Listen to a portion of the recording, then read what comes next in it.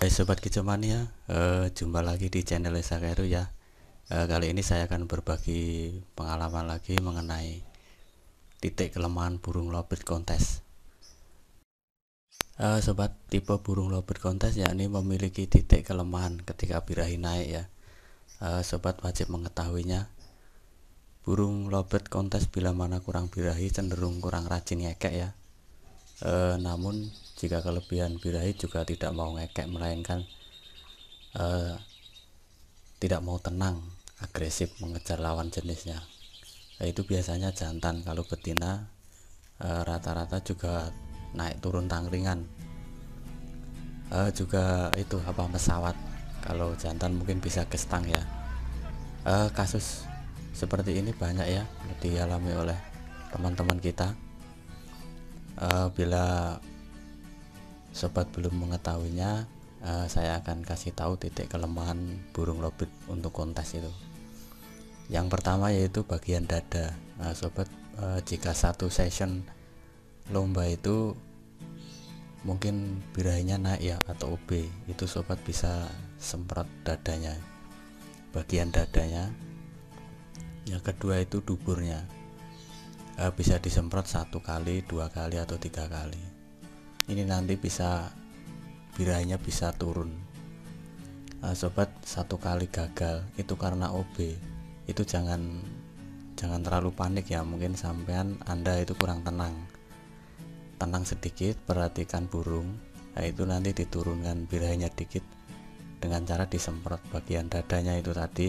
Untuk bagian duburnya itu bisa juga bisa disemprot tapi untuk untuk kontes ketika kita kontes itu lebih enak itu disemprot dadanya. Bisa dengan cara dipegang tangan atau disemprot. Sobat wajib membawa semprotan ya. Kalau lupa bawa semprotan atau tidak bawa sobat bisa dipegang tangan lalu dipegang disiram pakai air. Entah itu air dalam aqua atau air yang di dalam itu sangkar buat minumnya itu disiram sedikit bagian dadanya. Insya Allah nanti kedua kalinya akan moncer. Ini pengalaman saya sobat. Uh, hampir dulu itu hampir enam orang itu uh, cuman bawa dua burung. Yang lainnya itu cuman penonton ya teman-teman sendiri itu. Satu kali gantang itu OB biranya naik. Burung sama sekali tidak mau tenang. Saya cuman berpikir begini coba sekali saya pegang.